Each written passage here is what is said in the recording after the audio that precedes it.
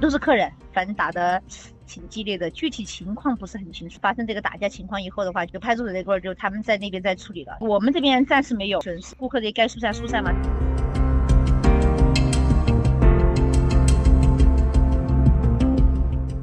底捞打架那事儿怎么处理的？处理是已经处理了，处分的话会不会记录档案呢？那是肯定有的嘛，这个是不是？